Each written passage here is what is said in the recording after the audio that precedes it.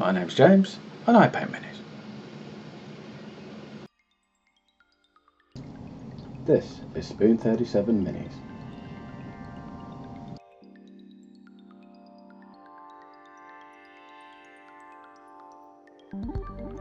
So in the last video on the Death Guard you saw me dry brushing the chainmail, first in silver and then later on in brown to make it look weathered.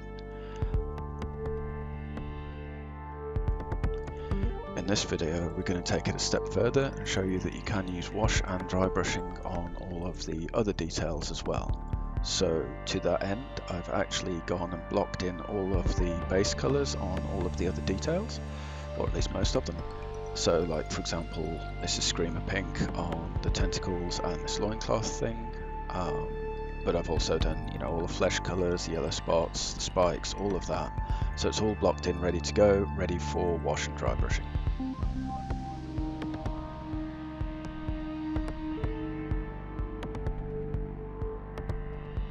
Now, as ever, I have done two thin coats. I'm just showing you the very first coat of Bugman's Glow on the Plague Champion.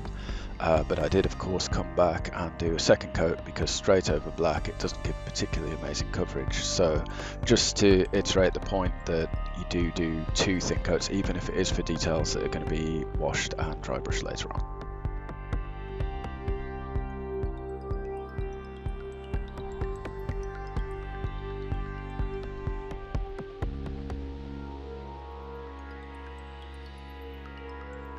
I've also used the base texture, as you can see here, applied with a small spatula, uh, just as we did on the ultramarine and the yellow marine that followed. Um, the difference here is that I'm going to show you that you can also use wash and dry brushing on this texture.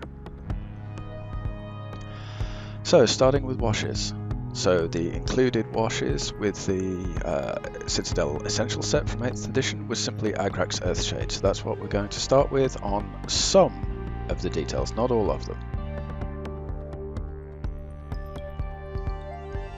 So we're going to use Agrax Earthshade and we're going to use the Games Workshop M Shade brush for applying it.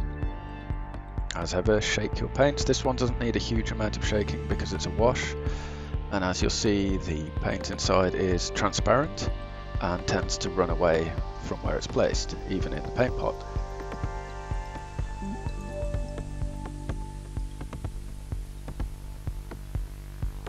Now in the case of the base here, because it's heavily, heavily textured, what you'll find is you need to load up the brush with lots and lots of Agrax Earthshade. I'm actually using it neat from the pot, which I normally water things down, but for this purpose I don't um, and I just apply a lot of paint, a lot of wash if you will, um, to this texture until it all looks like the recesses are darker.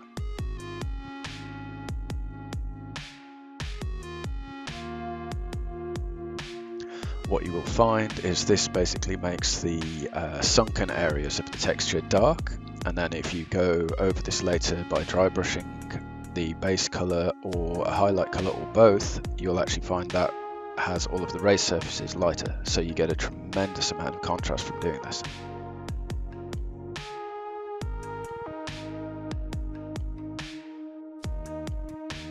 Can also use the Agrax Earthshade just as we were on the base, but on several other details. Now the trick here is to use the tip of the brush and actually go over this skull on the shoulder, avoiding the armor which I've already used wash on. Right. So I'm going up to the edges and trying to get it in the eye sockets and everything, um, but then moving on to other details such as the metallic colors. We're trying to avoid the armor and avoid any areas painted black because it won't actually show up. But otherwise it's pretty much the same as applying it to the base.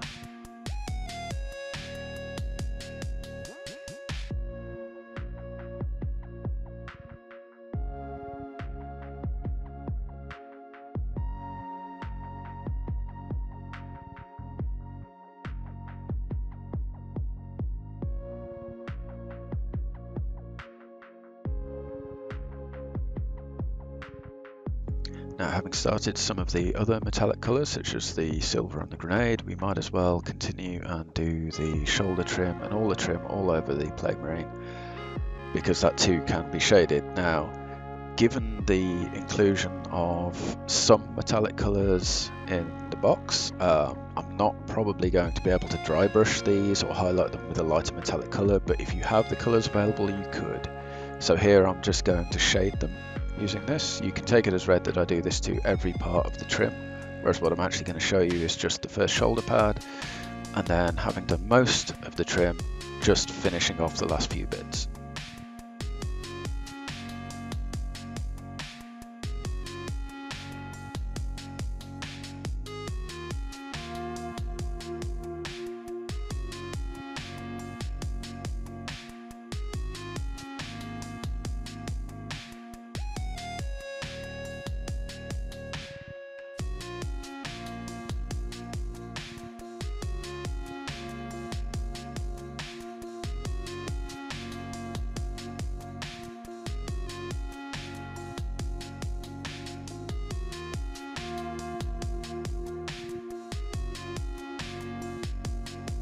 So the trick with what I'm doing here with the trim is to push the brush over pretty much the exact center of the trim so that the bristles go either side so that it presses up against the armor but doesn't go too far into the armor so that you get wash between the trim and the armor making it appear to have a greater amount of contrast which you'll find it does pretty much immediately with this technique. You don't want to go too far over into the armor though you can see I have just gone over it a little bit on the leg it doesn't show up too badly.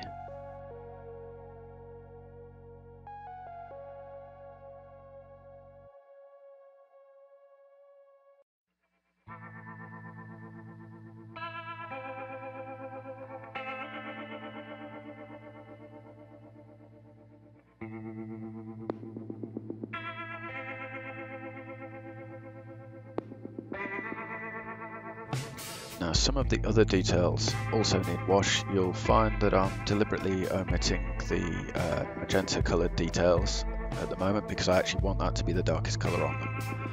But for things like the yellow spots, I do actually use the brown wash and I'm also doing something here which is called pin washing. The idea is to just get a little bit of wash around each rivet and any small detail can be pin washed. Now you could just dab the brush into it or poke the brush into it. Um, but here I'm actually trying to use the tip of the brush to go all the way around each rivet. It's a little bit difficult. You'll see in some places I get a little bit too much on, but that's fairly easy to fix as I'll show you in just a moment.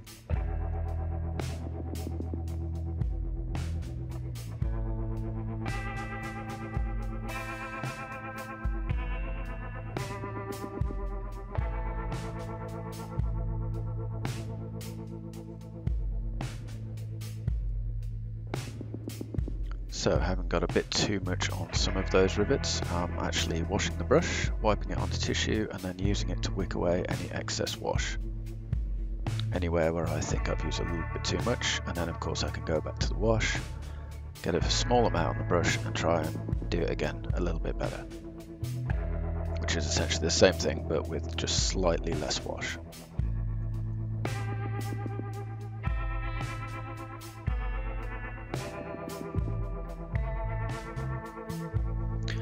Because this is one of those simple but quite time-consuming tasks, I'm not obviously going to show you every single rivet that I've done, so I've shown you a few of the starting ones, and now I'm going to show you finishing off with the last few on the legs. Do be sure to catch the fact that there are some on the sides of the legs, the backs of the legs, the feet, and so on. So there are quite a lot to do even on this relatively simple model.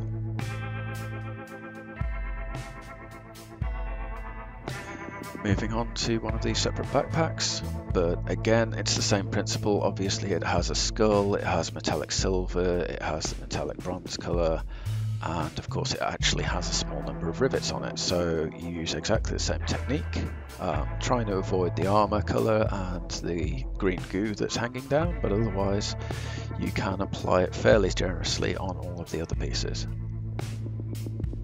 the only thing I would point out is you do really want to go up to the edges of the armor color and of course if you do get it over the armor color it's not the end of the world uh, but you really want to go up to the edge and no more if you can.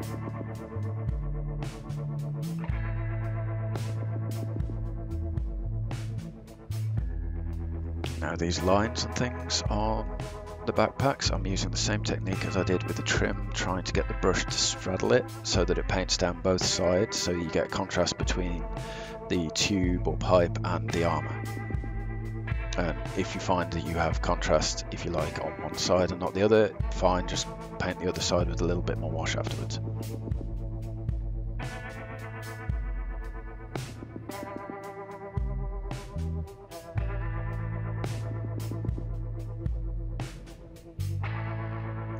I'm hoping that you can see that by having this run off into the recesses, it takes very little effort, but you actually get a lot of contrast out of it compared to just having the base colors alone.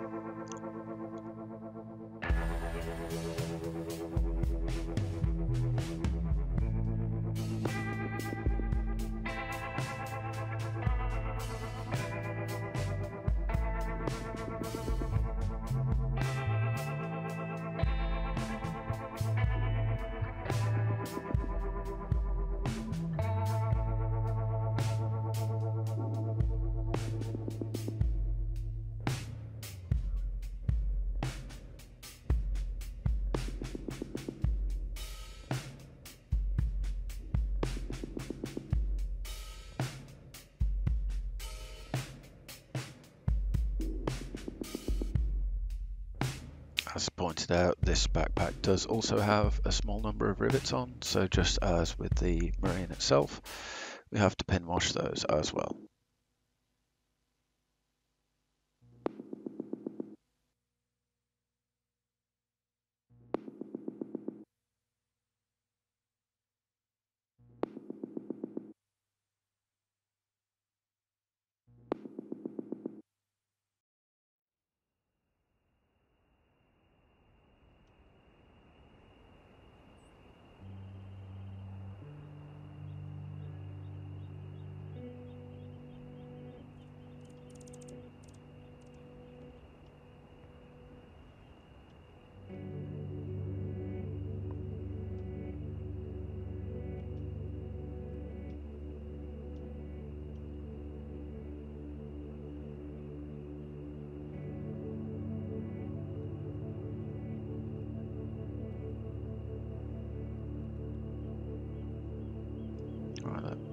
Finishes off the backpack with Agrax Earthshade. Moving on to the separate gun arm.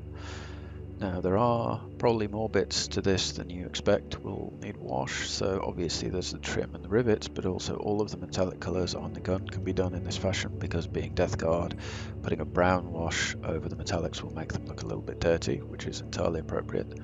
Um, but then there's also the sort of wooden parts of the stock and the bandages wrapped around, as well as the little bronze scarab hanging down, all of which need wash. So although this is a tiny little area and you're going to omit the crab claw and the black colour, it still needs a surprising number of areas to be washed.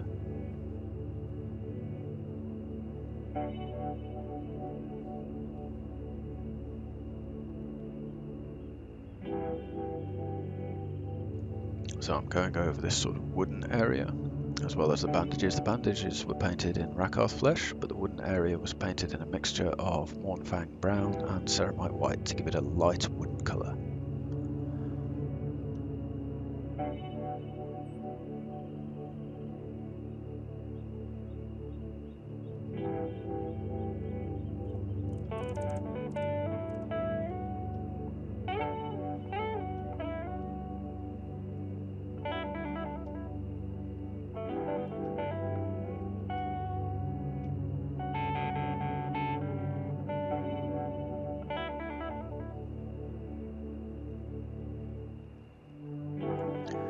Moving on to the metal areas. As I say, I mean, you could use something like a black wash, but if you use a brown wash on silver, it tends to look worn, aged, or dirty, depending on how you interpret the image. Uh, obviously, we expect the recesses on metallic colours like this to be black. If they're brown, it suggests some kind of dirt or rot. And of course, as these are Plague Marines dedicated to Nurgle, you know, a bit of rot is entirely appropriate.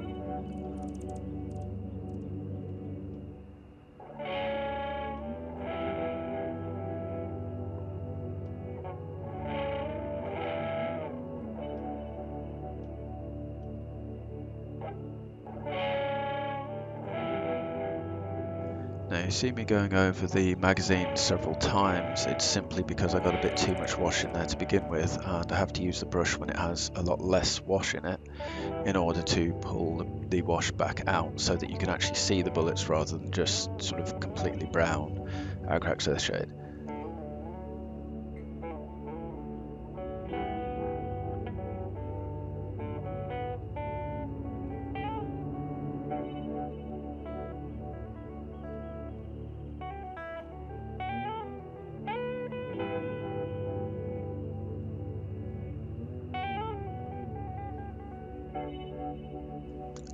at this point I would normally use a purple wash over the flesh coloured areas in order to make them look a bit sickly or inflamed. The problem with that is, of course I'm using the Citadel Essentials kit, there's no purple wash.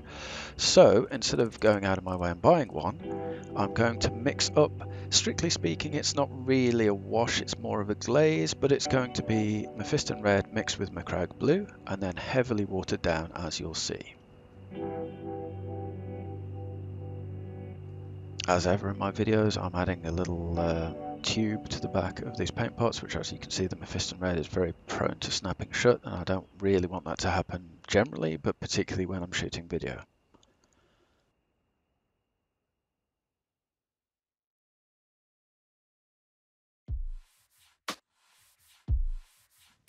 Now this isn't rocket science, but I'm going to mix a fairly generous amount of this together, considering the small amount of areas we're actually doing and it'll be in a roughly 2 to 1 ratio. So essentially twice as much red as the blue because I found the blue can be a little bit overpowering in this kind of mix and I want it to be a somewhat reddish purple.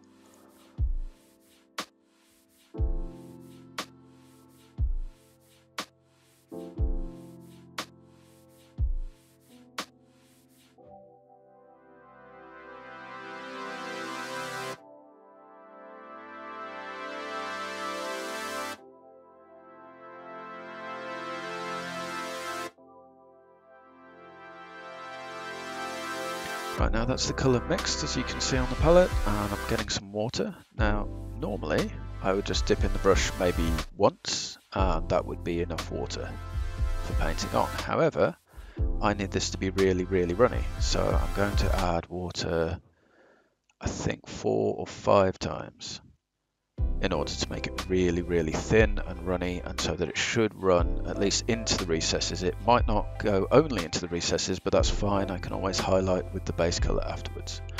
So as you see, we start to apply it generously as if it were a wash and you'll find very quickly it's run into all of those recesses and you can see the detail starting to pop up and it does look suitably disgusting.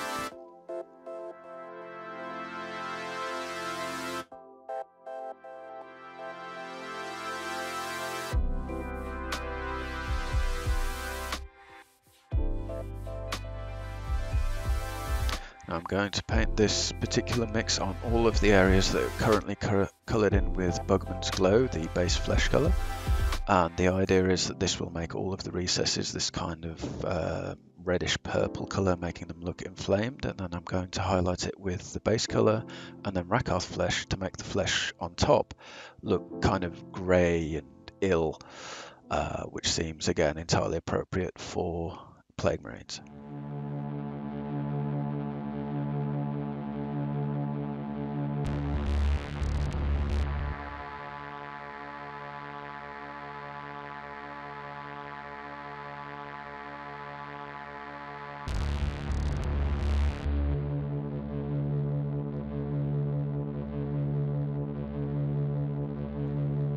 Same again, but obviously this is a face, so the effect is a little bit more dramatic.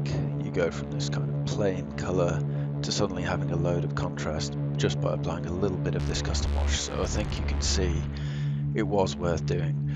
Uh, one thing I would make note of, I am trying to go over all of the flesh areas, but I'm not going to uh, cross it into the border where the spikes are coming out of the head. You could do the base of those, but I personally think it would look slightly wrong.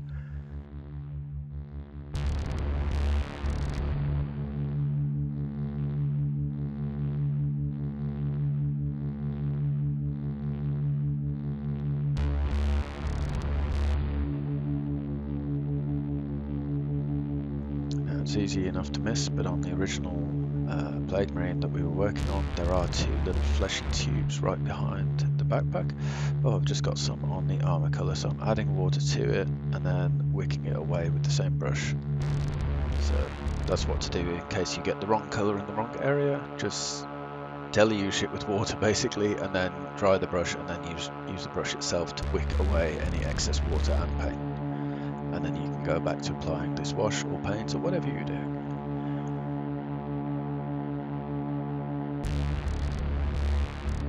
Now, because these are Chaos Space Marines and they're considerably warped and mutated, even the backpacks have fleshy tubes on them. So these two need the same custom wash applied just on the tubes and hopefully again that will run into the, the recesses and all of the edges and give us that desired sort of inflamed flesh looking effect.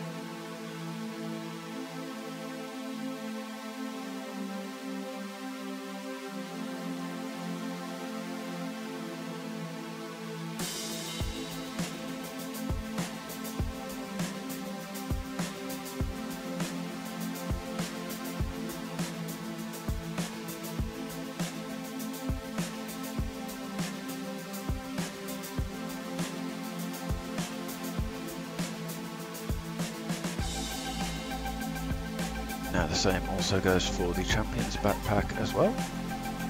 Only this has four fleshy tubes on it, so taking care to not get it on any of the other areas nearby, but we still need to get this custom wash all over these tubes, including the edges and the top, which I will show you in a moment by tipping up the whole backpack.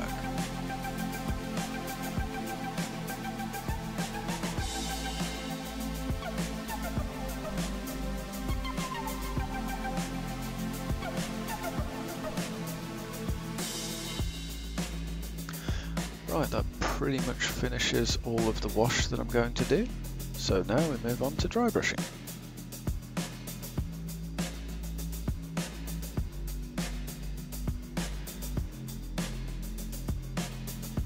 Just as before, we're going to start with the base.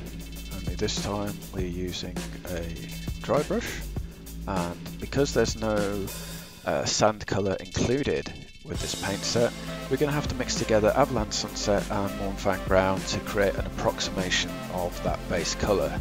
We're trying to match up with Armageddon Dust. Try not to drop your paints at home, kids.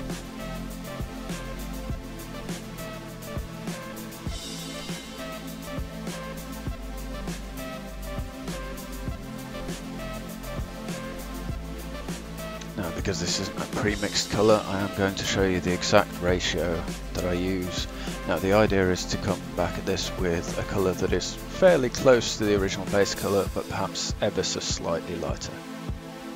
So I'm actually going to mix them in a 2 to 1 ratio or in this case actually a 4 to 2 ratio as you can see so 4 blobs of yellow to 2 blobs of brown and then I'm going to use a cocktail stick and a steadying hand and I'm just going to mix them together. Note that I've used a cocktail stick which is totally separate to the other two, so if I need more paint, I can pick the appropriate coloured cocktail stick and go back and get more yellow or more brown as I see fit, but I think this mix will work out without doing so.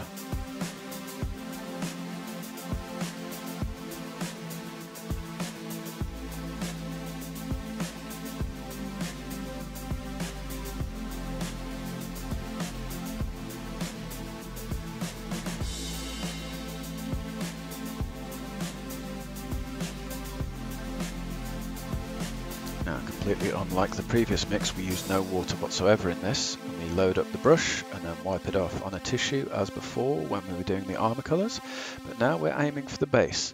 Now, as you can see, this brush is quite big compared to the model, and so it's a Games Workshop M dry brush in case you were wondering. Um, so we're trying to hit as much of the base as we can. If we get a tiny bit on the armor, it doesn't matter too much because it'll look like a bit of weathering, like sand has got onto the armor. Uh, but we're trying to avoid that wherever possible. We're not trying to go for like a heavy weathering effect on the armor or anything like that. And so just to drive home the point, I am going to show you on all three ba bases because it doesn't take very long and it does create a lot more contrast than it had before, even with just the wash.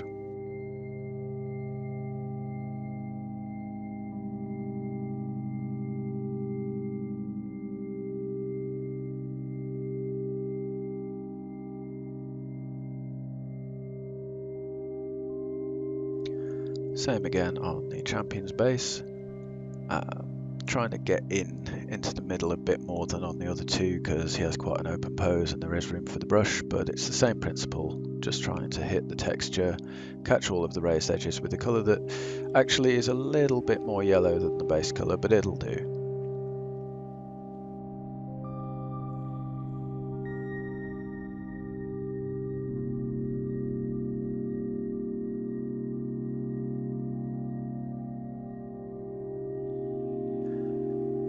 Swiftly on, we're going to be dry brushing the spikes next. Now obviously, although it's the same brush that has been washed, and this was actually done on a different day, I'm going to dry brush first, first with raw Rakarth flesh, and then I'm going to mix ceramite white with Rakarth flesh for a further highlight. So we're actually going to dry brush these twice.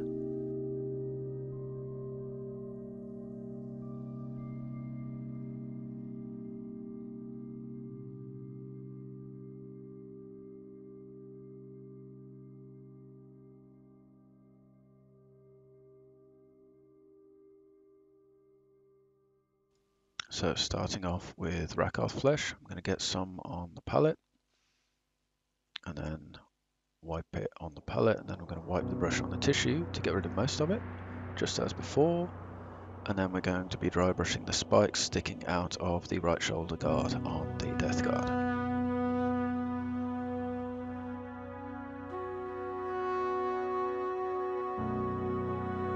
Now, this is a really huge brush, because these are so far from the body of the Marine, you can actually get away, provided you do so sweeping away from the helmet and away from the armour.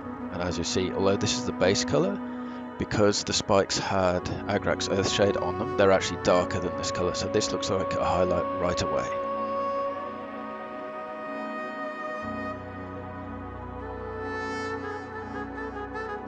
Same again on the champion. These spikes are particularly huge and well suited to this large brush, but you do have to be careful to be moving the brush away from the other armor pieces.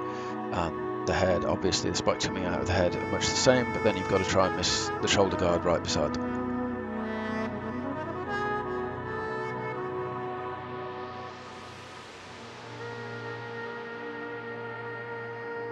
Now for the third Plague Marine, I'm actually using the original starter brush that came with the paint set because of course these spikes are so much smaller and that huge brush would have been really overkill and it would have been very hard to miss you know the gun and the armor and the base and so on. So this gives us a little bit more control. And I could have done the other steps with this. It just would have taken a lot longer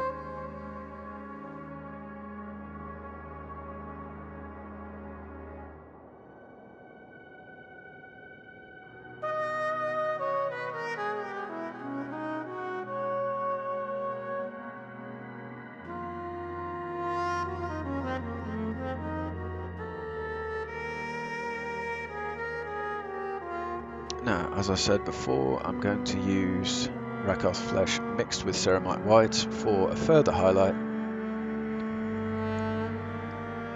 Um, so here I'm going to mix them together on the palette for you. I'm having to dip into the pot because it's not actually holding very much paint up near the lid. But then we're going to get some Ceramite White and mix that in.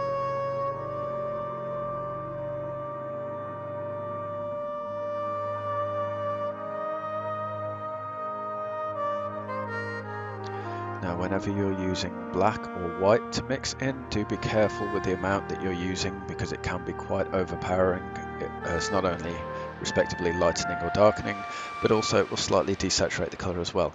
For these particular models, they have a desaturated colour palette, so I'm not too worried, but if you were doing something really vibrant and colourful, you might want to think again. You might want to look into alternative ways of lightening the paint, different colours to mix in. Also hoping you can see side by side the two colours on the palette are quite different to one another. This one is much lighter even though it's not actually white. And so same again but we're now using the starter brush so as to strike a smaller area and give us a bit more control and then we can use this to just highlight the tips of these spikes and then they'll have effectively four colours on them.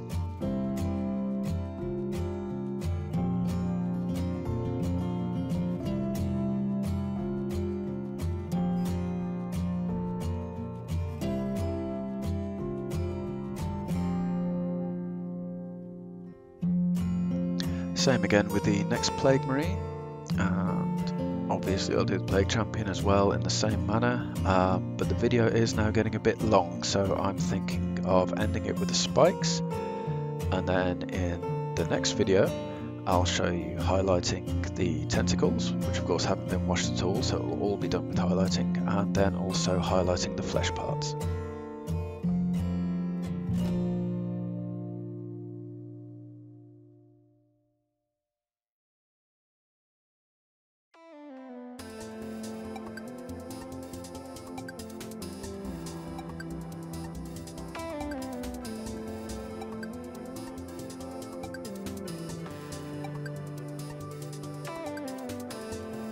Even though these spikes on the champion are huge, you're only really still doing the tip, so we're sticking with a small brush and just trying to catch the very raised areas of the tips, inside and outside of course. Uh, try not to go over too much of the area that we did with just plain Rakarth flesh, just catch the areas that would be naturally a little lighter. You always assume the light is coming roughly from above and usually slightly in front of the miniature, so that's kind of where we're aiming for the highlights to be.